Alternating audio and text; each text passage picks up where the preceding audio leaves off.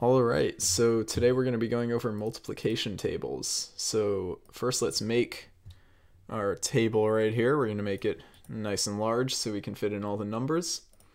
And uh, let's let's start drawing some some grid lines. So as you know, actually, maybe you don't know, a multiplication table allows you to look up two numbers and then find what they multiply to. Now that's called their product.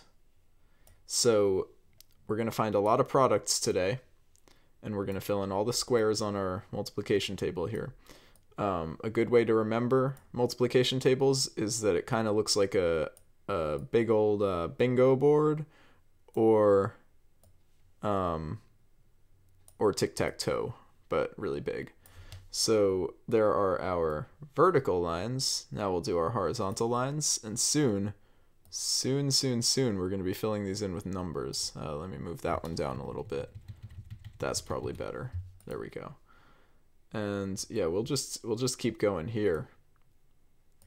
But by the end of today, you should know you're going to learn how to multiply um, all sorts of different numbers. You're going to learn how to multiply 1, um, 4, maybe even 6 if we if we get lucky. So um, we're going to go through a lot of different numbers today, and we're going to hopefully, hopefully learn a lot.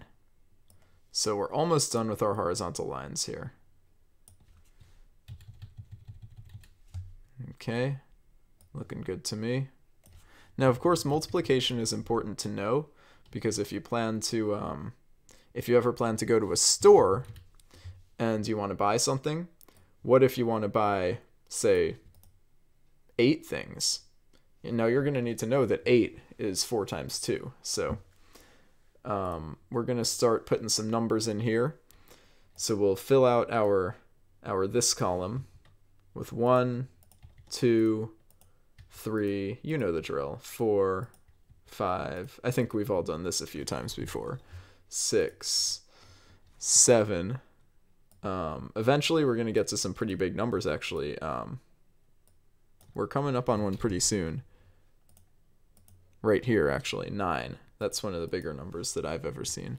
Um, now we're coming up to 11. Here's 12. Here's 13. And uh, this one, little known fact, is actually called 14. Um, even though it looks sort of like 1 4, it's actually pronounced 14. So now we'll fill these in. Uh, that's going to be a 5, 6, 7, 8, 9, 10, 11, 12, 13. Oh, we're coming across some even bigger numbers here, actually. 15 and 16. Okay. Here we go. Here's our multiplication table. And so now we're going to want to fill this out. So the way it works is if we want to multiply 1 and 1, uh, then you're going to put your finger on both of them, and then you're going to find where they meet, which is going to be right here. And so 1 times 1, of course, is 1. And maybe, actually, let's do something. This is a little tricky. My, I don't know if most teachers are going to do this, but I'm going to put it in red. So products are going to be in red. And now we'll keep going along the way. 1 times 2 is 2, 1 times 3 is 3, 1 times 4 is 4, 1 times 5 is 5, 1 times 6 is 6, 1 times 7 is 7, 1 times 8 I think is 8. It gets a little tricky once we reach the bigger numbers, but I think 1 times 10 should be 10. And then we've got 11, 12, 13, 14, 15, uh, 15, not 16 and the biggest number of them all is 16. Now, we can actually go through and do that with 2 as well. So um, now we're going to say, okay, what's 2 times 1? And something you'll notice is that it's actually a symmetrical table. So 1 times 2 is actually going to be the same as 2 times 1, which is pretty exciting. Um, it means that you can do multiplication. So that's good. Um, we're coming up on 10 here. I think I'm actually going to start using the uh, the number keypad here. It's probably a little easier at this point.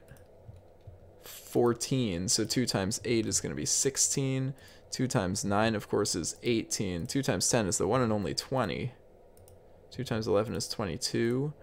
24, 26, 28. Now, little known fact, 2 times 15 actually is 30, and 2 times 16 is 32. So we've made some really good progress here. And something that you might be noticing is that uh, it's just like counting by twos. Um, that's just a coincidence. So um, now we'll move on to um, threes. 3 times 1 is 3. 3 times 2, of course, is 6. 3 times 3 is 9. And now you can start to see the symmetry coming in. 3 and 3 over here, 6 and 6 here. Um, 3 times 9 is actually not 23 exactly. It's going to be 12. Uh, 23 is close, though.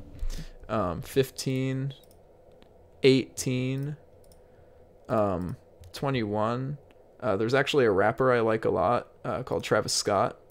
Um, 24, 27, 30, 33, 36, 39, and uh, 3 times 14. This is actually rather difficult for some people, but um, we, we can follow the pattern because we've done it before. So 42, 45, and uh, this is going to be 40, 48, not 18, actually.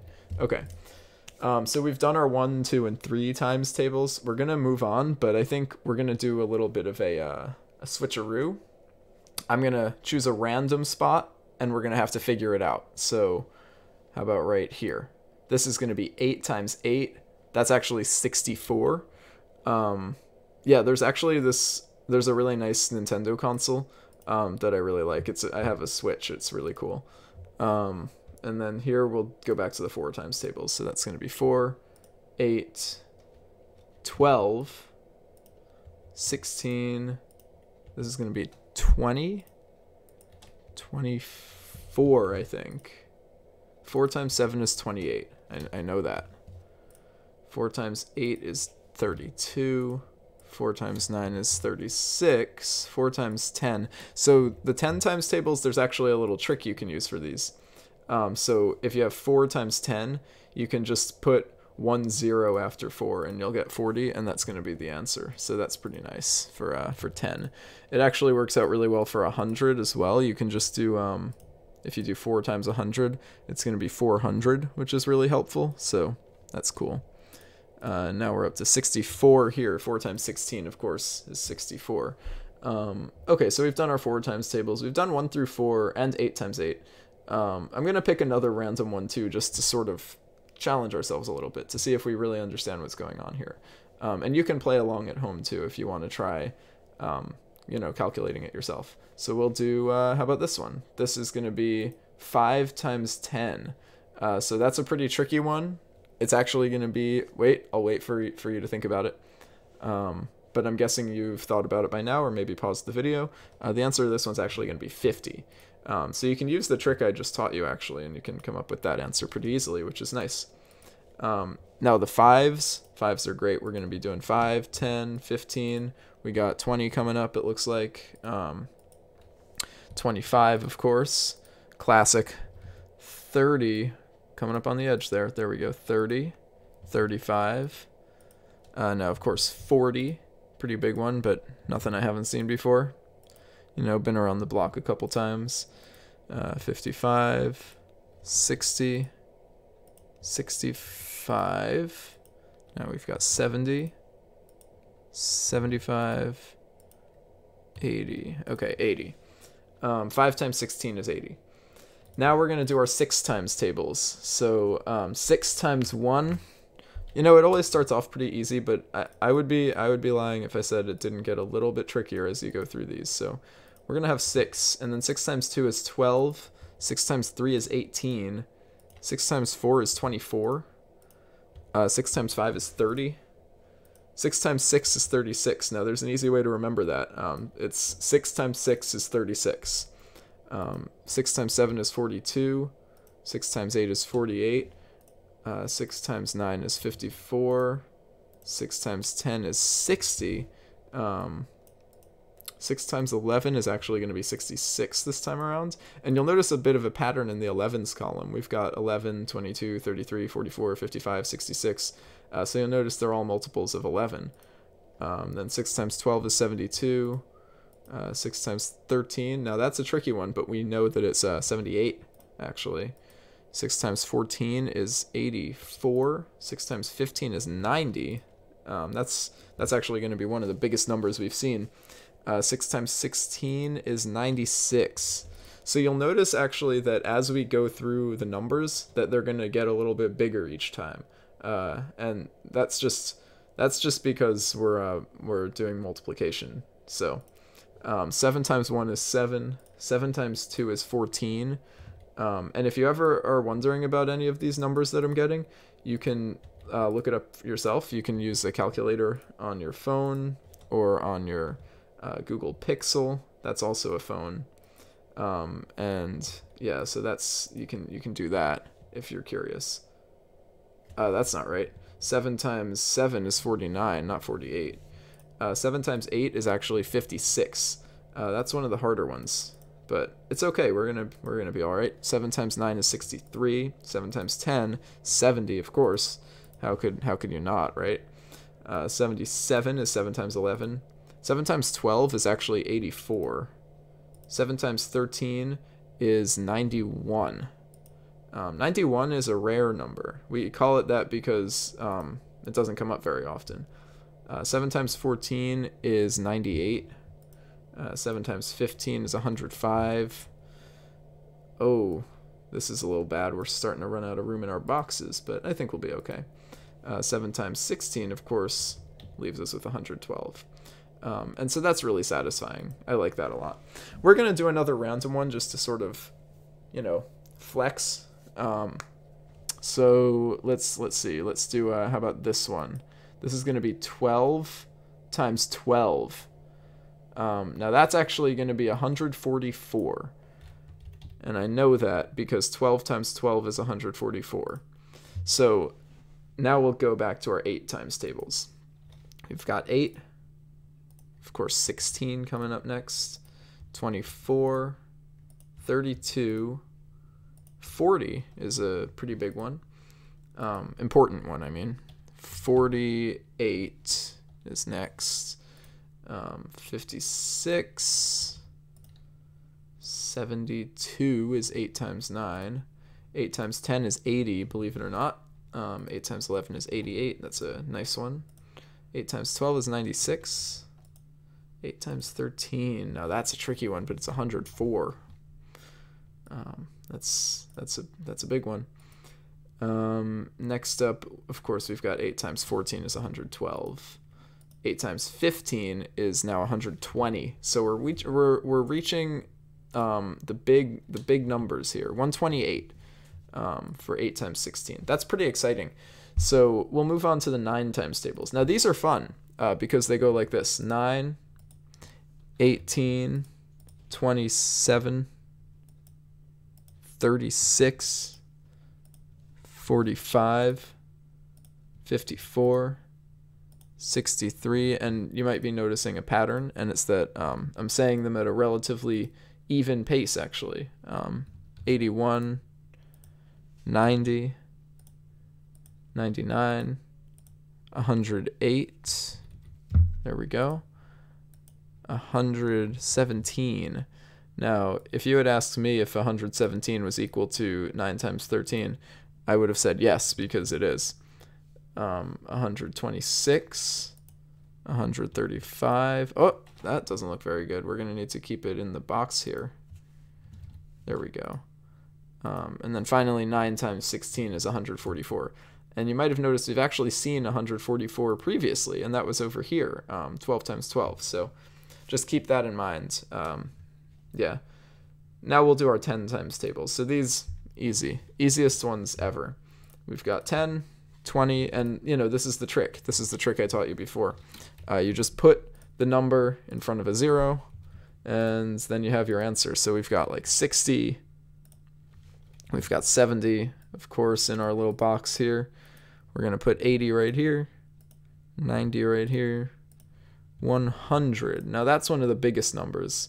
Um, 110, 120, 130, 140. And now you might be asking yourself, what's 15 times 100? Um, and to that I would say 150, or sorry, 15 times 10. Um, I didn't, I'm sorry, I, I might have confused you there. 160, okay.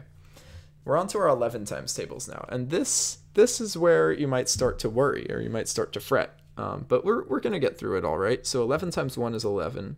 11 times 2 is 22. 11 times 3 is 23. 11 times 4 is 44. Did I say 23? I meant 33. 11 times 5 is 55. 11 times 6 is 66. 11 times 7, nothing more than 77. 11 times 8 is 88. 11 times 9 is 99. And 11 times 10 is 110. Bet you didn't see that one coming. 11 times 11 is 121. 11 times 12 is 132. And 11 times 13 is 143. And believe it or not, 11 times 14 is 154. 11 times 15 is 165. And finally, 11 times 16 is 176. Let me take a sip of water before we move on to our 12 times tables.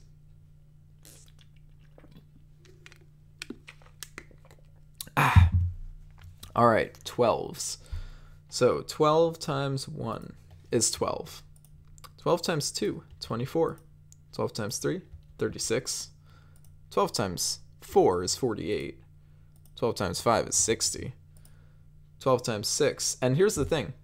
You might say to yourself, I don't know 12 times 6. But you can actually check what's 6 times 12. And you'll see 6 times 12 right here is 72. We've done this one already, so we can put it right here, 72. 84 is the answer to 12 times 7. 12 times 8, of course, 96. 12 times 9 is just 12 more than 96, which gives us 108. 12 times 10 is equal to 120, not QW, 120. 12 times 11 is 132. We've done 12 times 12, look at that. Um, we've got, of course, 12 times 13. This is where it gets a little bit trickier than I'd like, but 156. It's it's it's pretty doable, I think, still. Um, 12 times 14, on the other hand, is 168. 12 times 15 is 180. And finally, 12 times 16 is 192. So those are our numbers for this column, or for this row. We've got two rows left, 13 and 14. This is going to be a little bit tricky. These are probably the hardest ones we're going to do today, but we're going to get it done. We got 13 times 1 is 13. 13 times 2 is 26. Um, 13 times 3 is 39. If you add 13 to that, you'll get 52. If you add 13 again, you'll get 65, not 64. If you add 13 again, you get 78. Another 13. 13 times 7 is 91. That's a nice number. We've actually seen 91 before when we did 7 times 13 um, and it's what we call a rare number. So 104 is 13 times 8. Um, I don't know if we've seen 104 before. Oh, we have when we've done 8 times 13 right over here. Um, next, we've got 13 times 9, of course. That's going to be 117.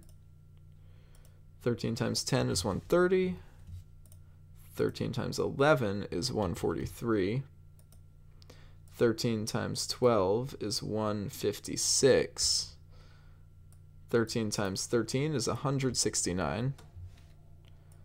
13 times 14 is 182. That's a large one.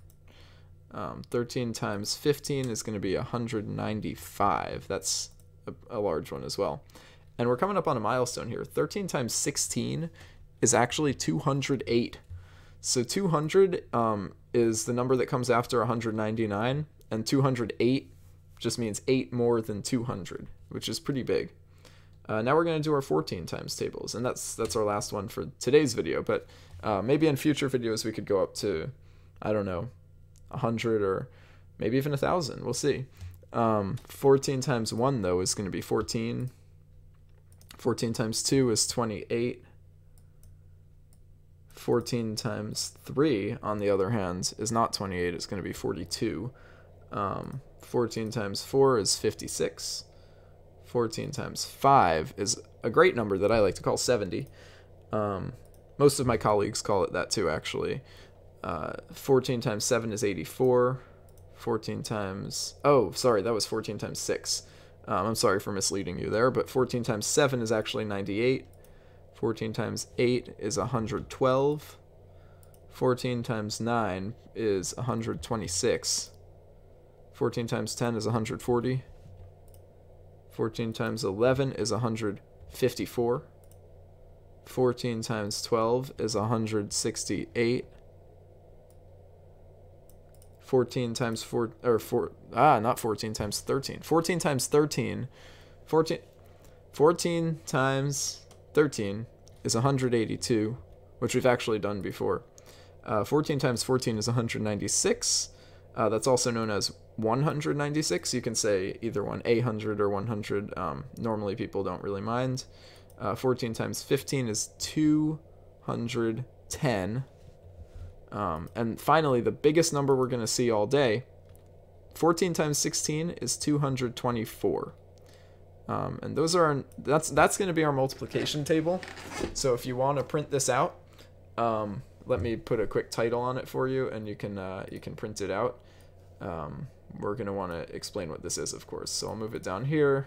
We'll title it multiplication table and we can put this in size 36. Now this is sort of an advanced multiplication table. I know not all of them go up to 16 and 14, but um, I'd say it's a pretty good one personally, and I'd, I'd definitely recommend using it if you're uh, interested in multiplication or maybe interested in working in the multiplication field someday. Uh, there's definitely a lot of things you can do with this. So um, uh, with that, I'm going to sign off. Um, and as I always say, 3 times 8 is 24. See you guys.